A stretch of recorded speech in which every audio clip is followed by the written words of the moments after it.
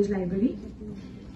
We have on the dais with us today Dr. Neeraj Kumar Singh, Deputy Librarian, Punjab University Chandigarh, Principal Dr. Ajay Sharma, Regiment of Hindi, and Dr. Gurpreet Singh, Head College Library. And with this, I request Principal Sir to extend a green welcome to Speaker of the Day, Dr. Neeraj Kumar Singh. Portal तो government ने बनाया हुआ है, हमारा नहीं है।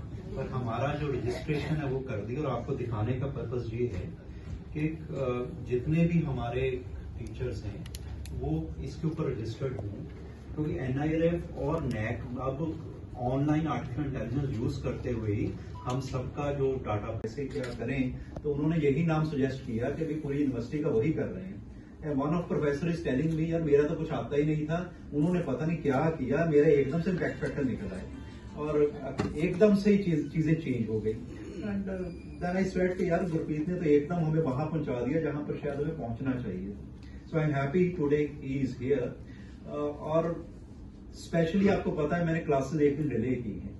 सिर्फ़ इसलिए कि all of you should be available here and we all should be on the same platform तीन चार साल पहले भी हमने इस तरह का प्रोग्राम एक ऑफलाइन करवाया था, जब इंटरनेट से प्रोफेसर आए थे। लेकिन हम उसको प्रैक्टिकली कन्वर्ट नहीं कर पाए। वो रूसा के अंडर हुआ था। आई रिमेम्बर दैट और कोविड के दौरान भी हमने नीरज जी को और लोगों को सिमिलर टॉपिक पर रिक्वेस्ट की ऑनलाइन प्रोग्राम्स हुए भी। लेकिन फिर मैं कहूँगा, जो हम करना चाहते हैं, वहाँ हम पहुँचे नहीं। तो आज की वर्कशॉप इसलिए हमने स्पेशली रखी है एक बार समझें what is expected out of us and how to do it और खास तौर पर आप सबको पता है within ten twenty days we are going to submit the SSR report कल भी क्राइटेरिया थर्ड के ऊपर मैडम दुआ और डॉक्टर बत्रा और हम सब बैठे थे we are looking at the datas available तो यही लगा कि शायद हम डाटा प्रॉपरली कंपाइल कर नहीं पा रहे। तो वो क्या प्रॉब्लम्स हैं, वो इस वर्कशॉप के बाद Neeraj Kumar Singh joined Punjab University in the year 2007 and he is presently working as Deputy Librarian at AC Joshi Library, Punjab University. And he is working there as Deputy Librarian since the year 2018. He obtained MSc Chemistry from Rani Durgavati University, Jabalpur in the year 2001 and Master of Library and Information Science from Delhi University in the year 2004. He pursued his doctorate from Punjab University Chandigarh on the topic Radio Frequency Identification Technology Application in Libraries and Information Centers of Northern India. Various national and international journals in the field of library information system. He is also the university coordinator of Urkund, which is the anti-plagiarism software, and he's also teaching at the same time the library information related courses at USOL, Punjab University, and IGNOU Regional Center at Punjab University, Chandigarh. And because of his vast expertise and knowledge, he has also acted as a resource person in various national FDPs, workshops, conferences, and training programs organized by various institutions of national and international repute. It is a priv- privilege for us to have you amongst us today, sir. And with this, we also have the launch of the IRINS portal scheduled for today. IRINS, which stands for the Indian Research Information Network System. activity of faculty, scientists and research scholars of the college or institution. The major features of this portal are it supports the integration of existing academic identities such as ORCID, Scopus ID, Google Scholar, Publons, and Researcher ID.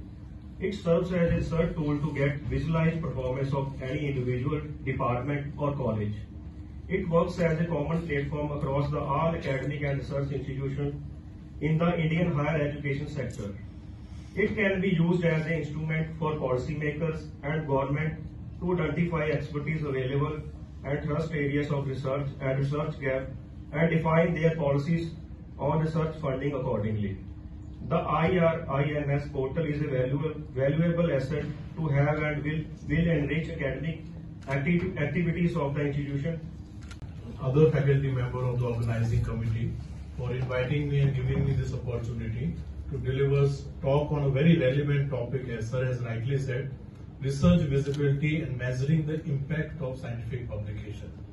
we all know that these research publications, they are considered as an intellectual asset of any individual or any institution. That is why whenever we are applying for any ranking agencies, whether it is NIRF, Times Higher Education ranking or QS ranking, one of the important parameter is institution that I will also share with Gurpreet that if faculty member they can enter the basic details in that particular Excel file, the INFLIBNET Center will help you in terms of bulk uploading the faculty profile in this IRINS portal. And for your information, now it is mandatory by the UGC that all the faculty member they must create their research profile in IRINS or Vidwan database. And if you are applying for any fund university also, as soon as this article got published, so our university has shared the news that these are the 11 scientists from Punjab University who are featured in this elite list of top 2% scientists in the world.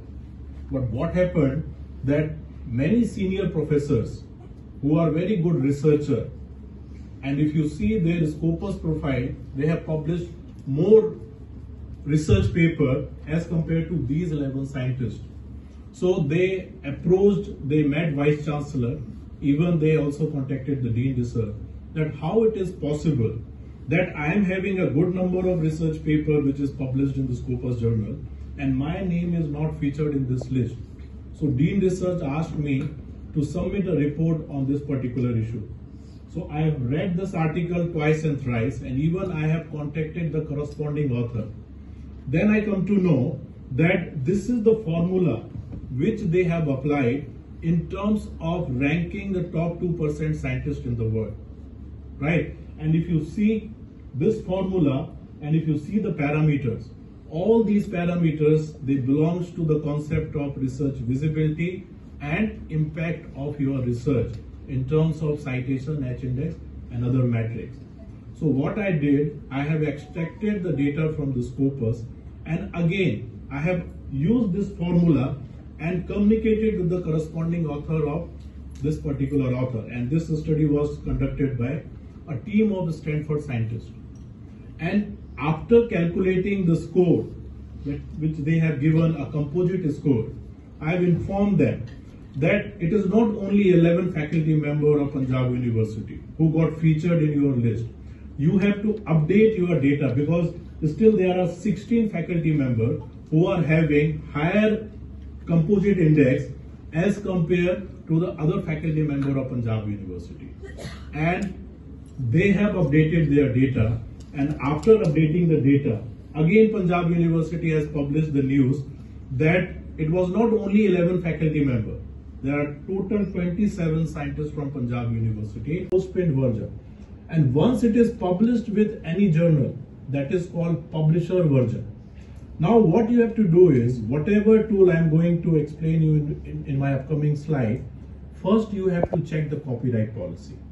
And there is only source in the world which can give you the correct information of all the publishers copyright policy.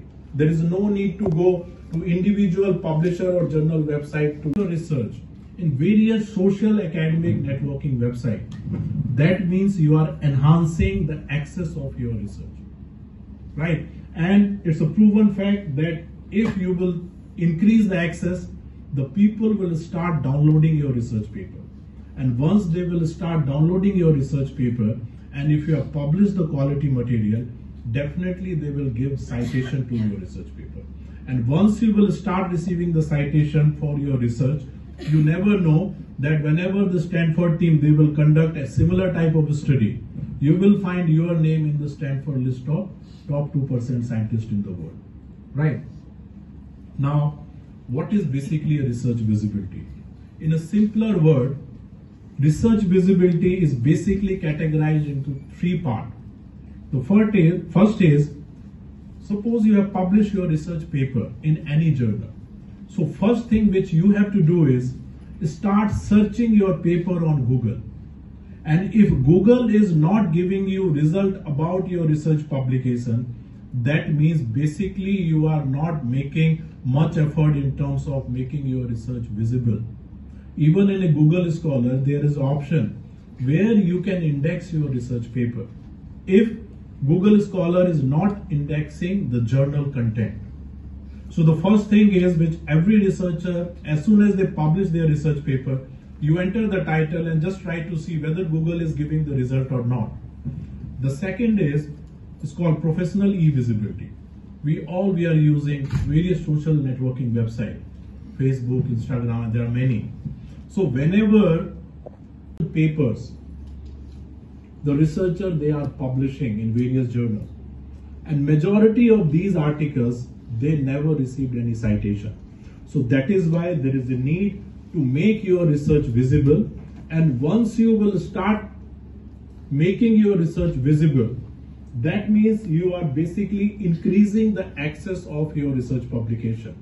Even if you are publishing your research with Sage and you know about the concept of research visibility, that is why we all know that these research papers they are very important parameter not only for your selection but whenever we are applying for our promotion under CS of UGC regulation there also it is clearly mentioned that the faculty member they have to publish research paper. But what is happening is thousands of paper are publishing on a day to day basis. And all these papers are reputed published in reputed journals. But what is happening even if you are publishing your research paper in scopus index or sci index journal that does not give you a guarantee that you will start receiving the citation. Right? So the reason is until and so making their research visible the academic community is not going to access your research paper. They are not going to download your paper. And once they will not downloading your paper it means you will not receive the citation for your research paper.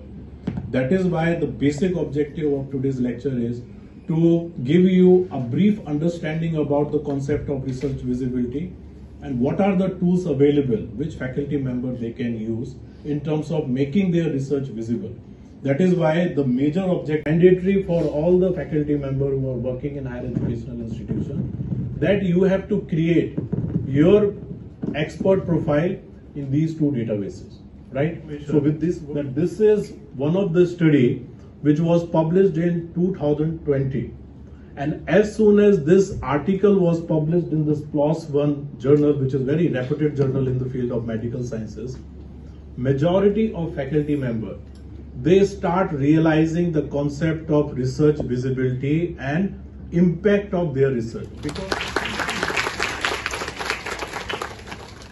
be another feather in the college cap and will help us in future. And I now invite Pratibha ma'am to please come forward and propose. का व्याख्यान बहुत विशेष व्याख्यान रहा क्योंकि मेरा ये मानना है कि जो हमारे बीच में चर्चा का विषय रहता है कि रिसर्च से रिलेटेड क्या होना चाहिए, कैसे होना चाहिए, हमें कहाँ अपनी रिसर्च पब्लिश करनी है पब्लिश करते हुए किन किन समस्याओं से हम जूझते हैं, सर ने उन अपने रिसर्च को कैसे विजिबल किया जाए, उसके माध्यम से हम कैसे लाभान्वित हो सकते हैं और अन्य शोधार्थी उससे कैसे लाभ प्राप्त कर सकते हैं, इन सभी विषयों पर भी आज चर्चा हुई है। मैं अपनी तरफ़ से और अपने एसटी फैकल्टी की तरफ़ से डॉक्टर नीरज जी का हार्दिक धन्यवाद करती हूँ कि उन्होंने उन सभी मुद्दों पर प्रकाश डाला जो शायद आज के आज हमारी बहुत ज़रूरत है। आज केवल शोधार्थी ही नहीं, अध्यापकों को भी रिसर्च से जुड़े रहना हमारी आवश्यकता बन गई है। मैं पुनः पूरी एसटी परिवार की तरफ़ से डॉक्टर नीरज जी का हार्दिक धन्यवाद करती हूँ।